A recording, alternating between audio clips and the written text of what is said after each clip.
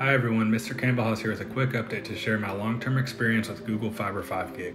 I've been using the Ubiquiti Unified Dream Machine SE or UDM SE as my router, paired with the Ubiquiti Enterprise 24 as my main switch and the U6 Enterprise as my main access point among some other gear. I would like to note that there have been some substantial firmware updates to UniFi and I am now getting substantially faster speeds than in my prior video I made about using 5 with UniFi. Shown here are speed tests through the UDM SE with device and traffic identification turned on and suspicious activity turned off. I've been most pleased with the UniFi hardware. Now what can you do with this speed? Realistically, there aren't many use cases for internet this fast at the moment. Browsing the web and streaming video doesn't actually use that much bandwidth, and most files we download during normal usage are small enough that there isn't a significant time savings as they just don't take very long to download on even a 1 gig connection.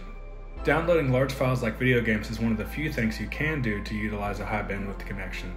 To get full utilization, you will need a file host that can support the full bandwidth but also a computer that is fast enough. Despite having a very fast computer, it turns out that the file decompression that happens when you download a game from the Steam Marketplace causes my CPU to limit my download speeds to just 1 to 2 gig, meaning I'm not getting the full value out of my service, at least with a single client. In my area, Google Fiber offers four tiers. I've tried the 1, 2, and 5 gig tiers, but being that it's just my wife and myself using this connection and my wife doesn't game, I'm going to try downgrading back to the 1 gig tier for a while to reevaluate whether the extra money each month is worth it.